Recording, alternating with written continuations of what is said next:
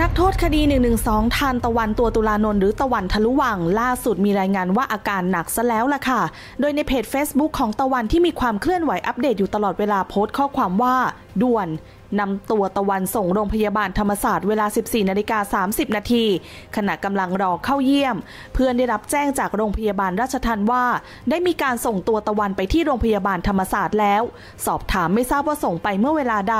หลัง 12 นาฬิกาขอให้ตะวันปลอดภัยหายใจเข้าไว้ โพสต์ต่อมามีการอัปเดตเป็นคลิปวิดีโอรวมทั้งภาพนิ่งของตะวัน ซึ่งสวมชุดสีขาวนอนอยู่บนเตียงคนไข้พร้อมแคปชั่นประกอบว่า ด่วน ส่งตัวตะวันถึงโรงพยาบาลธรรมศาสตร์เรียบร้อยแล้ว ตบท้ายด้วยการโพสต์ด้วยคำพูดประชดประชันตามแบบทะลุวังสไตล์ว่า ขอเยาะเย้ยทุกข์ยากขวากหนามลำเค็ญ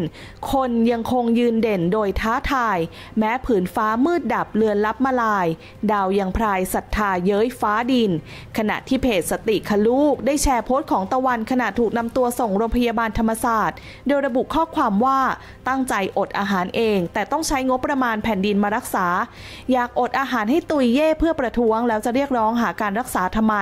แล้วทำไมต้องโรงพยาบาลธรรมศาสตร์ จากนั้นได้โพสต์ข้อความอีกครั้งว่า ทั้งแก๊งเป็นเหมือนกันหมด โรงพยาบาลใกล้ๆเรือนจำไม่เอา ต้องไปโรงพยาบาลธรรมศาสตร์เท่านั้น ต้องเอะแล้วนะคะแฮชแท็กตะวันทะลุวัง ล่าสุดเพจ Facebook ของตะวันได้มีการโพสต์เกี่ยวกับแฟรงระบุว่า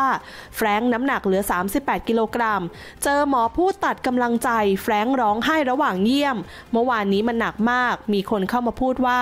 ว่างก็กินนะทำแบบนี้ไม่มีใครสนใจหรอก กินไปเหอะกินไปเลย ในตอนนี้ใจผมไหวแต่รู้ว่าร่างกายเริ่มไม่ไหวแล้ว ตรงนี้มันร้อนไปหมดมันไม่สบาย ผมเห็นภาพซ้อนเห็นกำแพงสั่น ผมนอนไม่หลับ มันมีแต่คนมาพูดเรื่องอะไรก็ไม่รู้เต็มไปหมด คนในนี้มีแต่คนมาพูดให้หมดกำลังใจ เมื่อวานนี้แฟรงก์เกือบช็อก หมอบอกว่าตอนนี้น้ำตาลไปเลี้ยงหัวใจไม่เพียงพอ อาจจะเกิดอาการช็อกหรือสลบได้ ฉี่ออกมาแค่100ซีซีมีสีเข้ม ไม่ถ่ายอุจจาระ ท้องร้องโครกคราก เมื่อเช้าอ้วกเป็นน้ำย่อยสองรอบ ปากแห้งมากเป็นขุยขุย รอบดวงตาโบจนเห็นเป็นโครงกระโหลก ผิวเหลืองและคล้ำใต้ตาคล้ำ ใช้เครื่องให้ออกซิเจนผ่านทางจมูก พร้อมจนเห็นสันกรามชัด ลุกและวูบ ค่าความดันมีความผันผวนต่ำมากและสูงมากค่าเผามีความผันผวนต่ำมากและสูงมาก มีอาการเบลอนอนไม่หลับ รู้สึกร้อนจากภายในตัวตลอดเวลา ตอนนี้ลุกไปอาบน้ำไม่ไหวแล้ว ผมคิดทุกวันว่าแล้วมันจะผ่านไป ผมสัญญาไว้กับตะวันบนรถขัง ผมนึกถึงวันที่อยู่ด้วยกันกับตะวันตลอด และผมและตะวันตัดสินใจด้วยกัน นึกถึงคำมั่นสัญญาจะไม่ท้อแท้จะไม่สิ้นหวัง พอนึกถึงแล้วก็มีกำลังใจ มันทำให้ผมมีกำลังใจ ผมจะไม่ยอมแพ้ง่าย ๆ จะไม่ยอมให้ใครมาปั่นหัวฝากบอกตะวันแล้วเราจะได้พบกัน หมายเหตุญาติคงยังรอว่าทางโรงพยาบาลราชทันจะส่งตัวแฟรงค์ไปที่โรงพยาบาลใดหรือไม่ หรือจะตัดสินใจให้แฟรงค์อยู่ที่โรงพยาบาลราชทันต่อไป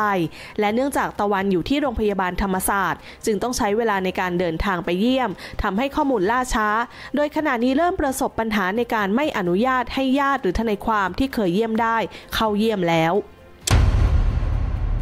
อย่างไรก็ตามก่อนหน้านี้ศูนย์ทนายความเพื่อสิทธิมนุษยชนรายงานว่าทนายความยื่นขอประกันตะวันและแฟรงต่อศาลอาญาด้วยหลักทรัพย์คนละ 70,000 บาท ซึ่งเป็นไปตามความประสงค์ของพ่อและแม่ตะวัน แต่ศาลยกคำร้องไม่ให้ประกัน โดยให้เหตุผลว่าที่ผู้ร้องอ้างว่าระหว่างถูกคุมขังอยู่ในเรือนจำผู้ต้องหาอดข้าวอดน้ำและไม่รับการรักษา จนอาจเป็นอันตรายต่อชีวิต และขอให้ปล่อยตัวชั่วคราวผู้ต้องหานั้นศาลเห็นว่าเป็นอำนาจและดุลพินิษของกรมราชทัณฑ์ในการดูแลส่งตัวไปรักษาตามพรบราชทัณฑ์พศ 2560 มาตรา 55 และกฎกระทรวงที่เกี่ยวข้องได้ จึงไม่มีเหตุที่จะเปลี่ยนแปลงคำสั่งเดิม ให้ยกคำร้องทั้งนี้ปัจจุบันตะวันและแฟรงก์อดอาหารและน้ำประท้วงเข้าสู่วันที่ 10 ด้านตะวันเพิ่งถูกย้ายตัวไปโรงพยาบาลธรรมศาสตร์เฉลิมพระเกียรติ ส่วนแฟรงก์ยังคงรักษาตัวอยู่ที่โรงพยาบาลราชทัณฑ์